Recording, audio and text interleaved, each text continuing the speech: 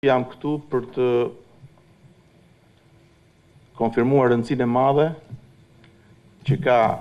institucioni juaj, produkti i punës tuaj të përditshme. Duhet të synojmë atë që thamë, rritjen e besimit dhe krijimin e besimit në mënyrë të tillë që të ndryshojmë këto raporte të padrejta, shpeshherë të perceptimeve, jo në përputhje me realitetin që ka sot Shqipëria. Kjo nga pikëpamja njerëzore dhe e përgjegjshmërisë, e cila nuk duhet të ndalojë dhe nuk duhet të komprometojë veprimtarinë fundore të plotë të hetimit, investigimit dhe të denoncimit të çdo akti me përgjegjësi ligjore. Shumë shpejt, do t'i ofrojë prokurorisë shqiptare, Kontrollit të Lartë të Shtetit dhe kujtdo denoncuesi tjetër në mënyrë të pavarur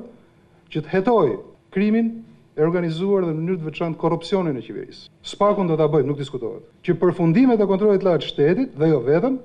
Të jenë të hetueshme qoftë dhe pa emra, nuk ka nevojë të bëhet kallëzim. Prokuroria e konsideron Kontrollin e Lartë të Shtetit si një ndër partnerët kryesorë në luftën kundër krimit financiar. Mbi bazën e kallëzimit të Kontrollit të Lartë të Shtetit dhe veprimeve të shumta hetimore të kryer nga Prokuroria, u krijuan dyshime të bazuara në prova se ish-ministri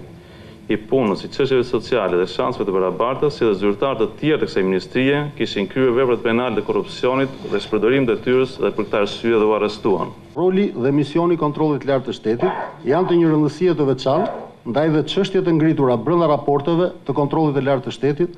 duhen analizuar me kujdes, në mënyrë që ato të jenë jo vetëm të nevojshme, por dhe parandaluese për institucionet të cilat i nënshtrohen auditimit nga ana e Kontrollit të Shtetit. Vizioni i kryetarit të KLSH-së, i cili ka ndryshuar faqen e institucionit, duke rikthyer atij dinjitetin e munguar dhe së bashku me rezultate të qarta çdo vit në rritje,